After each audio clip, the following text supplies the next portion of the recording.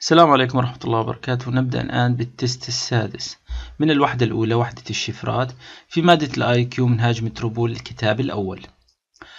آه، هنا نلاحظ أنه يوجد لدي حرفين مكررين في كلمة ناني وبالتالي هنا ببساطة بإمكاني أن أوجد حرف ال N يقابل الرقم ثمانية. إذا هذه الشفرة كليا تقابل هذه الشفرة. وبالتالي لما كانت الإن ثمانية هنا ببساطة إمكاني أن أوجد الإي هي تمثل الرقم تسعة. وبالتالي كلمتي سوف تبدأ بتسعة وتنتهي بثمانية إذا هنا بدأت بثمانية خاطئة بدأت بخمسة خاطئة بدأت بثمانية خاطئة بدأت بستة خاطئة والجواب هو ب في السؤال الثاني هنا نلاحظ أن هذه الشفرة تحتوي على مجموعتين مكررتين.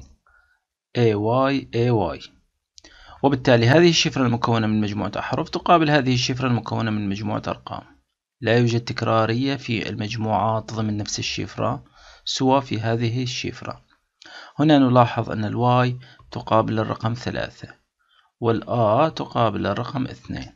وبالتالي كلمتي لا تحتوي لا على ال Y وبالتالي لا يوجد ثلاثة ولا توجد اثنين.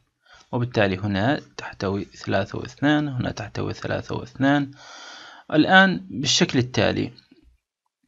آه، لما كانت ال Y تمثل الرقم A وبالتالي هذه الشفرة هنا منها خلال هذه الشفرة يمكنني الحصول على أن قيمة ال K تمثل الرقم واحد. ال K تمثل الرقم واحد وكلمة لا تحتوي على K وبالتالي هنا ال k موجودة فقط في هذه الشفرة في بداية هذه الشفرة. وبالتالي هذه الشفرة المكونة من مجموعة أرقام تقابل هذه الشفرة المكونة من مجموعة أحرف. الآن ببساطة بإجراء عملية المطابقة نجد أن ال e هي عبارة عن الرقم ثمانية. وبالتالي ثمانية سوف تكرر في المنطقة الثانية والمنطقة الثالثة.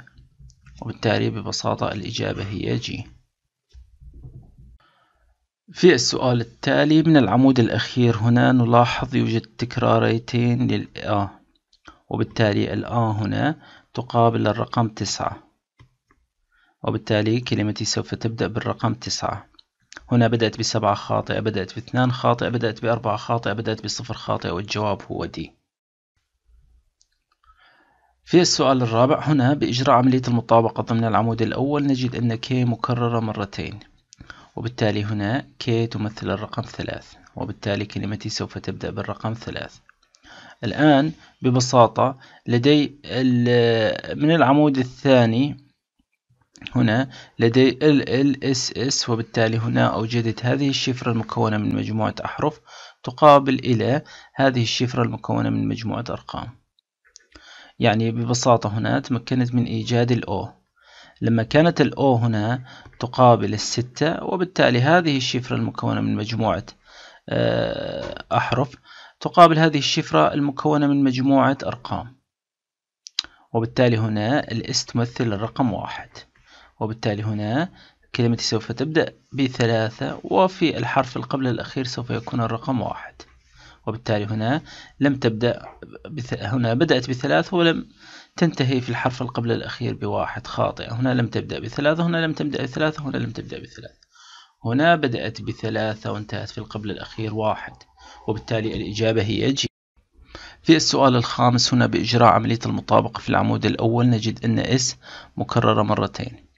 ال s هنا تمثل الرقم أربعة إذن s تقابل إلى الرقم أربعة وبالتالي كلمتي سوف تنتهي بالرقم أربعة. هنا انتهت بثلاثة خاطئة بواحد خاطئ بإثنان خاطئ بخمسة خاطئة وبالتالي الجواب هو آ.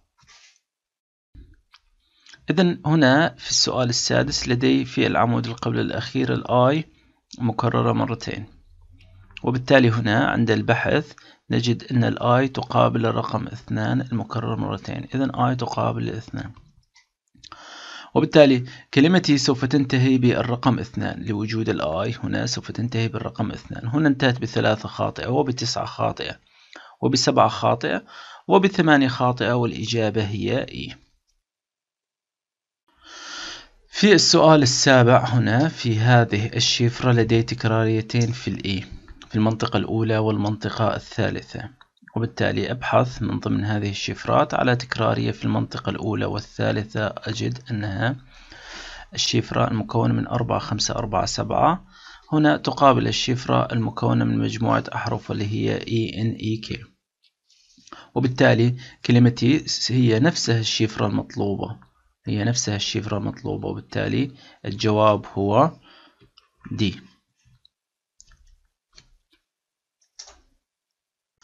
في السؤال الثامن هنا بالنظر إلى العمود الأول نجد تكرارية في الواي وتكرارية في ال s. وبالتالي هذه الشفرة المكونة من مجموعة أحرف تقابل إلى هذه الشفرة المكونة من مجموعة رموز. ولحسن الحظ هي نفسها الشفرة المطلوبة. وبالتالي الإجابة سوف تبدأ بسهم نحو الأعلى فاين ألفا إشارة الفاين وبالتالي الإجابة هي آ آه، في التمرين الثامن عند النظر إلى العمود القبل الأخير مكونات العمود قبل الأخير لدي ال A وال I وال M وال I وال R وبالتالي هنا تكرارية في ال I. هنا يوجد تكرارية في حرف ال I. نبحث الآن هنا في المنطقة هنا لدي إشارة جمة سهم نحو الأسفل جمة وبساين وبالتالي هنا جمة جمة. نلاحظ هذه الإشارة تقابل ال i وبالتالي i تقابل الإشارة جمة. أنا كلمتي سوف تنتهي بالرمز جمة. هنا انتهت بفاين خطأ مثلث فاين ومثلث وبالتالي الجواب هو ب. في السؤال العاشر ننظر هنا إلى العمود القبل الأخير. نجد لدي y y n n وبالتالي هنا يمكنني إيجاد قيمة ال r هنا تقابل الرقم ألف إذن r تقابل الألف وبالتالي الزد هنا تقابل السهم نحو الأسفل. لما كانت الزد هي سهم نحو الأسفل وبالتالي هذه الصيغة أيضا تحتوي سهم نحو الأسفل تمثل هذه الصيغة. وبالتالي هنا آه، ال k هي عبارة عن إشارة الفاين وفق الترتيب السابق. ال k هي إشارة الفاين كونه تحتوي على تكرارية وال y هي السهم نحو الأعلى. إذا ال k تمثل إشارة الفاين وبالتالي بالشكل التالي كلمتي سوف تبدأ برمز فاين هنا بدأت بفاين هنا لم تبدأ هنا لم تبدأ هنا لم تبدأ.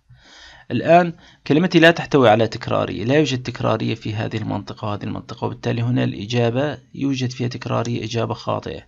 والجواب هو ج في السؤال الحادي عشر هنا ننظر إلى العمود الأخير. هنا لدي آ آ آ وبالتالي آ تمثل الرقم ثلاث. وبالتالي أنا كلمتي سوف تنتهي بالرقم ثلاثة. نلاحظ هنا لم تنتهي بثلاثة. لكن هناك شرط في الشفرة المطلوب لدي. لا تحتوي على تكرارية إطلاقا. هنا يوجد تكرارية في الثلاثة إجابة خاطئة. هنا يوجد تكرارية في الثلاثة إجابة خاطئة. هنا يوجد تكرارية في الثلاثة إجابة خاطئة. وبالتالي الجواب هو دي لا تحتوي على تكرارية إطلاقا. السؤال الثاني عشر والأخير في هذا التست هنا بإجراء عملية المطابقة نجد أن الآ تمثل الرقم أربعة وبالتالي هنا كلمتي تحتوي على تكرارية وبالتالي الرقم أربعة سوف يكرر في المنطقة الثانية والمنطقة الأخيرة. إذا هنا نلاحظ أنه لا يوجد تكرارية لا يوجد تكرارية لا يوجد تكرارية الآن هنا وجد لدي تكرارية بين المنطقة الثانية والأخيرة. نتابع بالإيجاد القيم هنا نلاحظ أن ال t تمثل السبعة وال b تمثل الثلاثة وبالتالي هنا ببساطة ال t سبعة وال b ثلاثة وبالتالي أنا يوجد لدي b وبالتالي الجواب الصحيح هو ج و d إجابة خاطئة وشكرا لكم.